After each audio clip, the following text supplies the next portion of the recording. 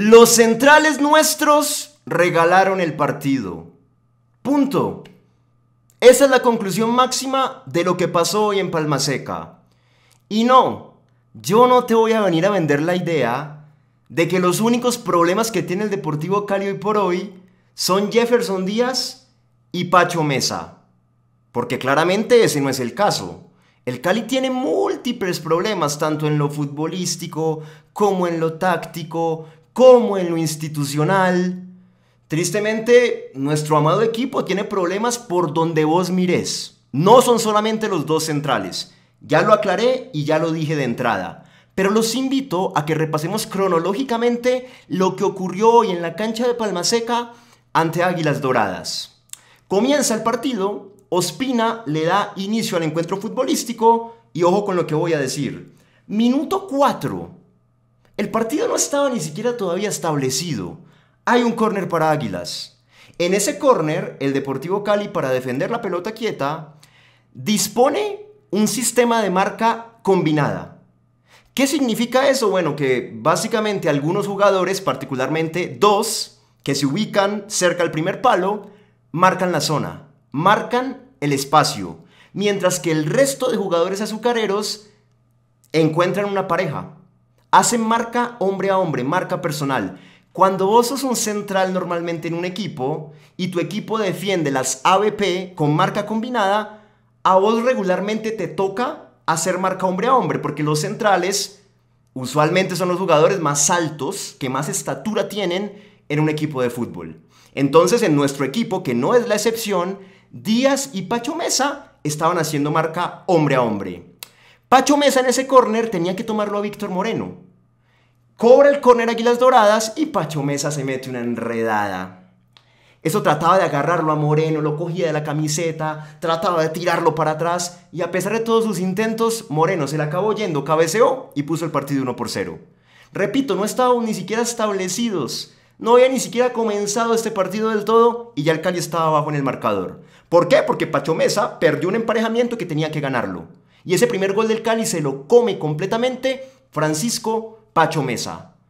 Ok, perfecto. Los invito a que revisemos qué pasó después de ese primer gol de Águilas. Al minuto 9, es decir, 5 minutos más tarde, el Cali empata. Al igual que contra Millonarios, en este partido reaccionamos muy rápido. Y el Cali en un saque de banda que hace muy rápido Reina, combina con Kelvin Osorio. Osorio manda un centro, que fue más un pase porque la verdad lo dio con gran precisión. Y Haider, el Búfalo Moreno, abre el empeine y la manda a guardar el segundo palo. Gran definición de Haider, muy bien. Partido empatado uno por uno. El Cali una vez más, repito, muestra personalidad y empata el global, el marcador, rápidamente. ¿Qué pasa en los siguientes minutos después de que el partido iba uno por uno? Bueno, yo acá tengo tres acciones de riesgo de un mismo equipo. Y ese mismo equipo es el Deportivo Cali. Minuto 16, disparo de media distancia de Córdoba que se va por un lado. Minuto 17, disparo de media distancia de Reina que va abajo y Contreras lo ataja muy bien. ¿Se acuerdan de esa jugada? Fue una jugada importante del primer tiempo para nosotros. Y minuto 21, otro disparo de Julián Gómez abajo que lo encajona el arquero Contreras. Entonces, ¿cuál es la traducción de esto básicamente? Pues que el Cali comienza perdiendo con el error de Pacho Mesa pero reacciona rápido, empata y los siguientes minutos son para el equipo azucarero. En zona 2, en el mediocampo, había un marcado 3 contra 3. Ellos ponían a Celis, a Rivas y a Jailer Goes. Y nosotros teníamos a Osorio, a Cabezas y a Alex Mejía. Y en ese 3 contra 3, cuando el partido ya iba uno por uno, comenzamos a imponernos. Por ende, ganamos la pelota y empezamos a elbanar ciertas secuencias de pases para por lo menos acercarnos al arco de Águilas. No estábamos siendo una maravilla, claramente el Cali no hizo un buen partido, que no se extrapole ni se exagere lo que yo estoy diciendo, porque no es mi idea, pero el Cali iba con el marcador empatado y no estaba jugando mal del todo. Ok, acto seguido, ¿qué sucede? Minuto 26 del primer tiempo. La agarra Águilas Doradas por derecha, Mateo Puerta manda un pelotazo. ¿Cómo me cae de mal Mateo Puerta? Qué pena que me salga del lado profesional, pero no me lo banco. En el Cali fue un desastre y ahorita se hace el canchero con nosotros. Tiene esas sonrisitas medio picantes. Uf, qué jugador para caerme mal, viejo. Pero bueno, continúo. Pelotazo largo de Mateo Puerta Por la banda que defiende Julián Gómez. Gómez se cae al piso, también tumba un jugador de Águilas, fue una jugada medio accidentada. Y en ese momento Jefferson Díaz ve que la pelota viene y hace así. Como quien dice, no pasa nada. Hay seguridad 100%. Y la seguridad 100% es que el tipo no se da cuenta y en la espalda de él Ramos ya había metido un desmarque de ruptura, una diagonal de adentro hacia afuera y le había comido la espalda. Y le había ganado la posición. Y cuando Díaz se percata, ya era muy tarde. Ya Ramos estaba adelante con la pelota en sus pies. Y él estaba quedado para hacer el cierre en esa jugada. Yo no entiendo lo de Díaz, viejo. Sobrando la jugada no estaba concentrado, sino que estaba actuando como si no, como si no pasara nada. Díaz psicológicamente piensa que él está en el Bucaramanga, ¿no? Él jura que él no juega en el Deportivo Cali con todo lo que eso implica hoy por hoy, sino que él piensa que está en el equipo del Rafa Dudamel, que va de puntero en la liga, que no tiene ningún problema en la tabla del descenso. No, el tipo está jugando relajado, como si nada. Así como el otro día Montaño contra Once Caldas, que le pasó algo similar, que le mandan un pelotazo a la espalda y el tipo ni se percata, hoy le ocurre lo mismo a Jefferson Díaz. Sobrador, sobrador, canchero, agrandado. Hermano, no puedes jugar así un partido hoy por hoy con el Deportivo Cali. En la situación en la que estamos tenés que ir con el cuchillo entre los dientes a todas las jugadas. Hacer lo contrario es irrespetuoso con todos nosotros, con los hinchas azucareros. Le gana Ramos la posición, pase atrás y ahí llega el complemento, ¿no? Ya Díaz la había embarrado. ¿Cuál es el complemento? Pacho Mesa, que se comió el primer gol y en este segundo gol ve que la pelota le cae a Jesús Rivas en toda la zona 14 y llega tarde a hacer también la cobertura. Trata de, trata de correr para ver si de pronto alcanza y no. Ya Jesús Rivas tenía todo el espacio para agarrar la pelota, hacer un control dirigido, patear a un lado y poner el partido 2 por 1. O sea, el primer gol se lo come Mesa y el segundo se lo comen entre los dos. Díaz y Mesa. Díaz por sobrador y Mesa porque llega tarde. Listo, vamos perdiendo 2 por 1 cuando claramente, de acuerdo al trámite y a las oportunidades de gol, no lo merecíamos. Avanza el primer tiempo, minuto 37, otra pelota quieta. Y como si no hubiese sido suficiente la actitud sobradora de Díaz en el segundo gol, en esta pelota quieta el Cali vuelve y dispone un tipo de marca combinada. Ya lo dije, algunos marcan la zona, el espacio y otros hacen hombre a hombre. Díaz, como es un central, al igual que Pacho Mesa, le toca hacer hombre a hombre porque es un jugador alto. Y le toca marcarlo a Jason Quiñones. O como diría el cantante del gol, Jason Jiménez. Hermano, uno contra uno, uno contra uno y Díaz se le para a tres metros. ¿E, e, ¿En qué cabeza cabe que te manden a hacer cobertura individual, marca personal, y que vos le vas a dar tres metros a tu adversario? Yo no, yo no entiendo. La verdad es una cosa casi que de lógica, de coherencia común. Y Díaz le da tres metros. Pasivo, otra vez sobrador, otra vez canchero, mandan el centro al segundo palo y claro, Quiñones, ni corto ni perezoso, viendo que estaba solo, y que su rival ni siquiera le estaba metiendo el cuerpo, no. Díaz estaba allá, lejos, mirándolo. Era un espectador en primera fila.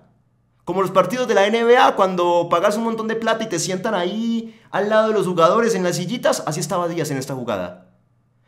Cabecea Quiñones, hay por ahí un rebote raro, le cae otra vez, patea, gol, 3 por 1. Y nos vamos al entretiempo perdiendo 3 por 1. Lo merecíamos desde mi perspectiva, no. El partido del Cali no era una maravilla, pero repito, reaccionamos rápido en el primer gol, nos imponíamos en el 3 contra 3 en zona 2 y no teníamos opciones de gol muy claras ni nada por el estilo, pero medio que nos acercábamos al área de Águilas y rematábamos de media distancia. Te digo que en el peor de los casos, por merecimientos y por todo lo que estaba ocurriendo, el partido tenía que irse uno por uno al entretiempo. Pero por culpa de que Mesa se come el primer gol, de que entre Díaz y Mesa se come el segundo, y, y de que Díaz solo se come el tercero, pues nos vamos 3-1 abajo. Entonces, ¿es o no es correcto lo que dije al inicio del video? Entre los dos centrales nuestros regalaron el partido. Porque el Cali, como está hoy por hoy, no te va a ir a remontar un 3 por 1. Es la realidad. Sería una cosa pues utópica. Eso no, no va a pasar. Sería una realidad demasiado perfecta. Y con el Cali hoy por hoy no ocurre eso. Eso ocurre con otros equipos. Con nosotros no. Nosotros tenemos que estar concentrados, ir a cada jugada, ir a cada emparejamiento con el cuchillo entre los dientes, afilados, picantes y no conceder ningún tipo de ventaja. Porque si las concedemos, después nos cuesta un montón reaccionar. No, viejo, estoy ofendido, la verdad estoy recontra ofendido, estoy sudando ya, hermano. ¿Qué más iba a decir? Bueno, eh, no entiendo tampoco cómo dos jugadores como Díaz y Pacho Mesa se juegan un partido tan digno y tan decente contra Millonarios? Porque ellos dos contra Millos innegablemente hicieron un buen partido, especialmente Díaz, que marcó un gol en ese partido, defendió bien. Mesa a mí no me gusta mucho, pero en ese partido jugó bien. ¿Y cómo es posible que jueguen bien ese partido y que sean tan ordenados y tan aplicados tácticamente y ocho días después vengan y hagan esa grosería y concedan tres goles entre los dos? Nah, nah. Llegamos al entretiempo, el Cocho Patiño saca a Cabezas y a Haider. Yo a Haider no lo hubiera sacado. Yo entiendo que tenía amarilla y estaba jugando con gran vehemencia, probablemente lo iban a expulsar. Pero yo creo que le hubiera dicho el pelado, hey hermano, no te hagas expulsar, le doy un discurso, pero lo dejo en cancha porque ya había hecho un gol y para mí no lo estaba haciendo mal. Yo hubiera sacado a Cabezas, bien, perfecto, y a Osorio también. Y si hubiera metido a Harlan y si hubiera metido a Andrés Estupiñán. Y es más, lo hubiera sacado a Díaz y hubiera metido a Brian Montaño. Ahí de paso, te digo, en el entretiempo. Pero bueno, metes otros cambios del cocho. Para mí no le funcionan mal del todo porque en medio de la precariedad del Cali en el segundo tiempo, ya con el partido perdido, los únicos dos jugadores que crearon algo ofensivamente fueron Harlan y Estupiñán, los que él metió. El gol es anulado por offside, que estuvo bien anulado.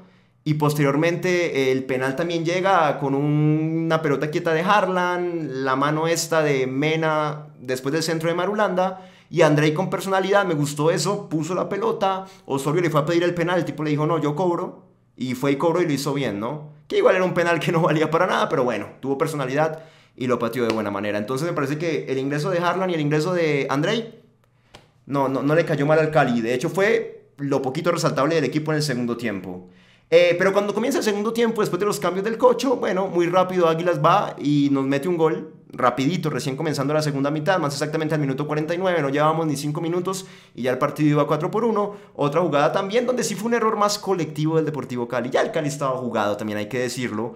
Julián Gómez estaba muy proyectado por la banda izquierda, llega una jugada por ese lado, nos rompen por ahí, Osorio no llega a hacer la cobertura, Díaz tampoco, ahí también Díaz tuvo un error porque si tu lateral, Díaz juega como central por ese lado, por el, por, el lado izquierdo, si tu lateral, el lateral izquierdo está muy adelantado, es tu labor, es tu labor venir a hacer el cierre por esa banda. Díaz trata de hacerlo pero llega tarde, entonces nos desborda Águilas por esa banda, Díaz no llega a hacer el cierre, centro al área y después hay un desastre, hay un rechazo mal dado por parte de Mejía, le rebota a Julián Gómez que venía tarde, le cae ahí a Jailer Gómez, patea gol. Partido 4 por 1 y si había alguna duda de que esto estaba acabado, bueno, con ese gol se acabó de confirmar. Y ya, era muy jodido, después ya Reina se hace expulsar. En medio de la impotencia, también algo medio carente de sentido, ¿no? Yo entiendo que Reina estaba caliente, estaba frustrado, creo que es hincha del Deportivo Cali, entonces le debe doler el doble pero dejar a tu equipo con 10, perdiendo 4-1, hermano, decí que en medio de todo no fue una goleada peor, pero vos hubieras sido uno de los culpables si este partido acababa 6-1, o 7-1, o 7-2, pues porque al fin y al cabo llegó el penal de Andrei más adelante. No puedes dejar a tu equipo con 10 en esas circunstancias, reina, o sea, controlate más, viejo. Eh, sí, el penal de Andrei maquilló todo, y ya, para finalizar básicamente es eso, muchachos. Eh, no fue un partido eh, bueno del Cali en ningún sentido, fue un partido malo del Cali colectivamente, fue una vergüenza, pero repito, el primer tiempo no era del todo tan paupérrimo y estos dos jugadores regalaron tres goles entre los dos y nos pusieron todo para arriba, ¿no? Cuando vos regalás tres goles de esa manera, de una forma casi que amateur, no hay mucho más por decir, ¿no? Pienso yo. Crisis en el Deportivo Cali, ya para concluir, es momento de tomar decisiones. Digamos que en medio de todo, gracias a Dios, Patriotas y Jaguares vienen de capa caída, ¿no? Porque donde estuvieran sumando puntos como hace un par de semanas, Dios mío, ni te cuento. Pero es momento de tomar decisiones. Me parece que los directivos del Deportivo Cali han hecho varias cosas mal. Cuando tenían que echarlo a De La Pava, que era el final del torneo pasado, o antes de comenzar este, cuando empezó con esos amistosos horribles ante el Bucaramanga y ante Cerro Porteño de Paraguay, ahí tenían que haberlo hecho y no lo acabaron haciendo.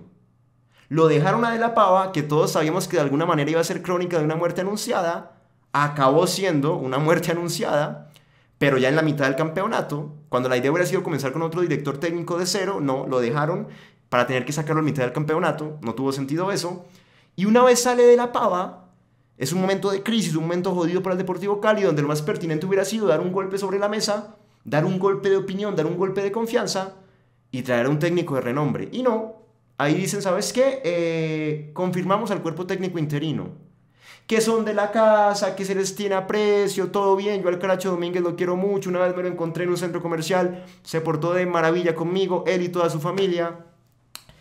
Pero no es lo mismo tener un cuerpo técnico interino que a un técnico que te, te, te dé, te dé otra cosa, que, que, que, sirva para hacer un cambio emocional en todo el equipo.